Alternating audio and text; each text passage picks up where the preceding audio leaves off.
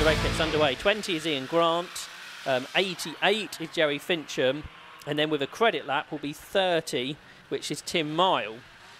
Uh, 25 um, seconds after those will be number 12, which is the car um, of Ben Mile, and 29 John Village. Five seconds after that, number 42, which will be um, Tim Sage. And then 20 seconds later, with a credit lap for both, will be number 8 Peter Marsh and 85 John Moss. 20 seconds later, again with credit laps, will be 6 for Richard Verheyden and 69 um, for Mike Pickup. 10 further seconds back, again with a credit lap, will be 22 Charlie Plain Jones. And then 5 seconds later will be 66. These cars all with credit laps. 66 Nick Hayward Cook, 11 James Miles, and 1 which is Greg and Fruston. So about half of those cars have got underway, Marcus Pye. Uh, but it all will become more clear as the race goes on. Yeah, it's, it's interesting because often these handicaps favour the very slowest cars. Then you've got to do one uh, fewer laps, so five laps out of the six. Um, I noticed that the um, the John Village car is, is still on two carburetors, so they've relented uh, with that one. There's still a whole bunch of sevens here to go, and uh, this looks quite exciting because there's a, there's a block of them here towards the back of the field. There's the next pair going, 8 and 85 go away. Yeah, so we've still got Another five cars, six cars to go. And they're going to go in three what batches. Great, what a great picture that is, the low Cowley in the middle of Charlie Plain Jones. To, radiator. Tom. But it's, there it goes. It's the perfect race for this type of formula, isn't it? Yeah, absolutely. It gives everybody a chance. Uh, we had this at, Cad- at Cadwell. It was uh, Richard Verheyden who won at Cadwell from Simon Gallen and Jörg Schneider. Yeah, Jörg Schneider, one of our Swiss uh, visitors, came to Mallory Park as well. Everybody's away now. So this is, as I say, a six-lap race rather than a timed race. And how many of them only have to do five laps? Basically, all the Austin sevens, really, isn't it? Apart from James Miles in the supercharged car. Um, Yeah. Sorry, not um, and um, Tim Tim, Roebuck. Tim Roebuck. Oh, Uh, someone recovering from a spin there. That's Is 69, that's pickup. Yeah, Mike pick Might up, I think, for this this time. race. Yeah. Yeah. So his first sort of racing lap hasn't gone because if you have a spin and handicap race, that almost puts you out of contention. So he will get back up to speed now. But yeah, basically the first five laps as everybody settles in, don't they? And then the sixth lap it all Is, goes. is everyone scrabbling around and wondering what's happening? Well, Even sometimes the winners don't realise they've won, do No, they? At the end of no, these no. races. So the first car to come through is 81, which is Samuel Bayliss, Bayliss who will have to do six laps. and Ben Bolt is second. Yeah, they started together, so Bayliss has got the Yeah. better of Bolt. 4.6 seconds apart, those two. 81 and 13. But obviously, they're going to drop back when the likes of uh, Tom Emden, who started first with a credit lap, comes through. He'll be our leader for a while, but he is uh, a little bit slower than the rest. Here he comes. At number nine across the line is our race leader, Tom Emden. He's now done two laps. You've only seen Yeah. him do one, but he's done two really. That's right.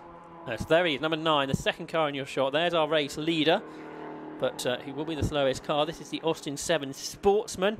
Uh, Tom is a 40 year old IT analyst from Hampshire who's done hill climbing and sprinting in the past. This is a 1938 Austin 7 Super Accessory Sportsman, which has a Austin side valve 747cc engine. Uh, this car is prepared with the help of Al- Alf Rayling Cork, a long-time racer. This car originally was built in Cornwall in the 1950s, stored in a barn for 35 years, and uh, is now back out racing, Marcus. Well, uh, Tim Miles got his credit lap there, so he's 30.6 seconds behind Emden. So he's done his net second lap. And in the first race, Tim Miles was 15 seconds quicker than Tom Emden on best lap, so that would suggest he should be able to catch up in the remaining four. Yeah, Ben Mile, meanwhile, is uh, still about 12 seconds behind John Village, and they started Hmm. together. So something obviously happened to Marl on that uh, first lap, didn't it? Yeah. Lots of understeer for John Emden. And there's John Village going past him. So that's Village onto the lead lap, uh, basically. so he has what three and a half laps to catch the uh, that car, but he in the earlier race it was the best part of a minute quicker. So probably will get there. Fincham didn't. Uh, he practiced out of session, didn't Mm. he, in the 88 car for the previous race? Yeah, he did finish sixth in the race. That, Yeah. um, Jerry Fincham did pretty well. So where's he? Uh, he's 13th behind Ian Grant. Yeah, it'll all uh, Yeah. it'll all fiddle around. For Hayden, who uh, won that previous one of these handicaps, it's a new idea to have the second race as a handicap. It's sort of one of the odd meeting. It- We've had Yeah. we had it here last year. It's sort of on, on tracks that suit kind of thing. Snetterton because it's a long lap, it works better, I think. Because if you did it at Brands Hatch, one you need Yeah. to get out of the way pretty sharpish as the the people that flag them off. Um, and equally means you can't have that many sort of batches going off. Where here we had one, two, three, four, five, six, seven, eight, nine, ten batches leaving out of 20 cars. Yeah, there's Sam Bayliss, who's got Ben Bolt Now catching him back up. catching him up, and uh, 81 and 13 are 11th and 12th. Yeah, so 10 cars had a credit lap therefore, didn't they? So basically half the grid. There goes Fincham through, Jerry Fincham in 88, who's a 71 year old uh, from Suffolk, so fairly local driver. He's been competing in Magnificent Sevens in the past in Caterham, so this is uh, quite a bit different. He's driving a 1974 DNC Mark V, which isn't a car that raced in period, but it's been built up um, to the similar specification.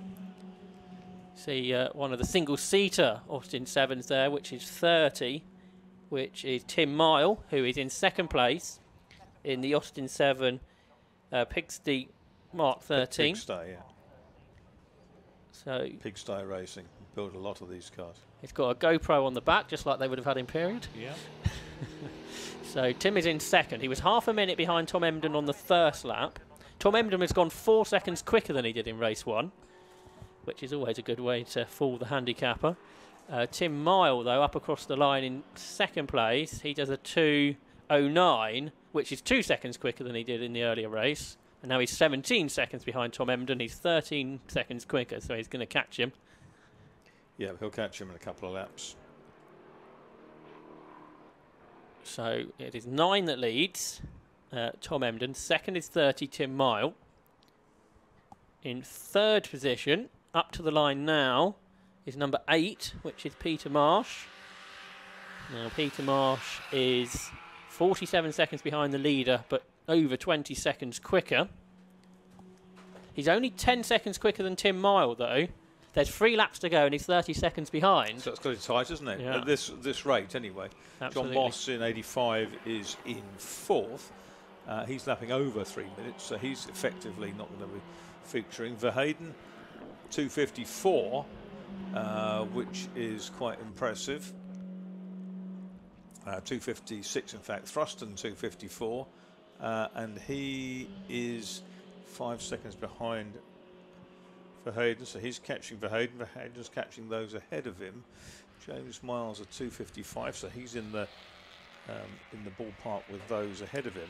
They'll, they'll all catch up, I think, and then pick up a 303. Hayward Cook, Hayward Cook a 258. Charlie Plain Jones, The, two that went off first, Marcus, Ben Bolt and Sam Bailey, Yeah. are side by side again as they go up across the It's line. amazing, isn't it? But they're both being caught quickly by Ian Grant, uh, 10 seconds quicker on that last lap. Yeah, Bolt's ahead of Bayliss now, isn't he? But uh, and Grant, as you say, is catching them. So this will be quite nicely handicapped, I think, because Emden or whoever uh, or Mile will um, will lead over the Hmm. Line next time. round. Oh. Oh, a spin for Ian Grant. Uh, he was looking good because he was quite a bit quicker than those ahead. Yeah, was a little little smattering of, of raindrops on the window. It might have uh, added to uh, a bit of oil down there already. So again, it was at the Wilson hairpin, like the first spinner. So that will Sean Village is now caught uh, Ian Grant, who's in the background. Meanwhile, some of the sevens are hurtling onto the back straight here. That's uh, Greg and Thruston, I see. This is the battle between Bayliss and Bolt, which has changed order yet again. yeah, the battle for what is currently 11th, but it'll be higher up later. Oh, and another spinner. This time the Agostini hairpin. Yep. That is 99. So that is David, David, Lewis, David Lewis and the Jeffrey. who made some road cars as well. Jeffrey, sort of rather similar to sort of sevens.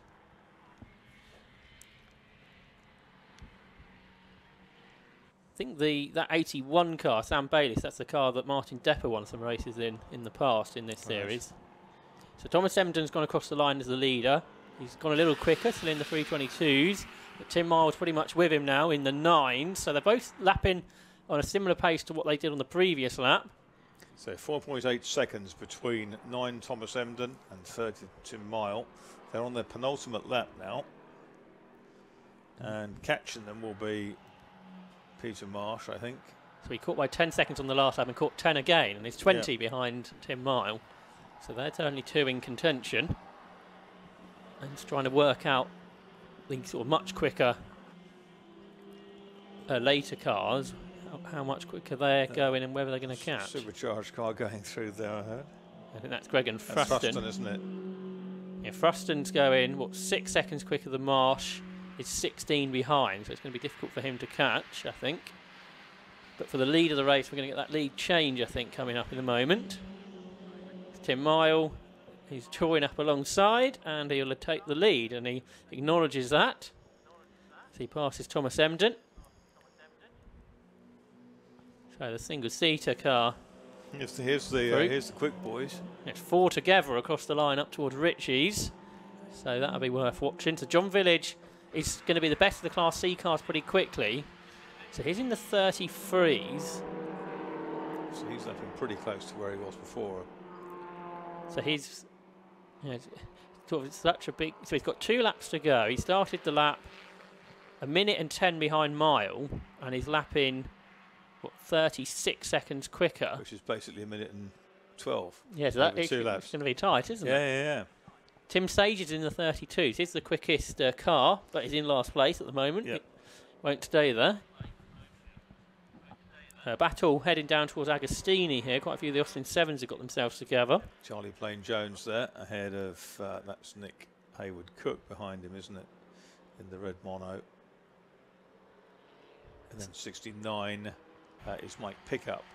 Who had the spin on the opening lap. It's a really short wheelbase, um, Charlie Plain Jones. He was move, manoeuvring it in the uh, assembly area this morning by leaning out and just putting his hands down the, the rear wheels. Haywood Cook got back through. So Plain Jones had passed him, but Haywood Yeah. Cook back through at Hamilton.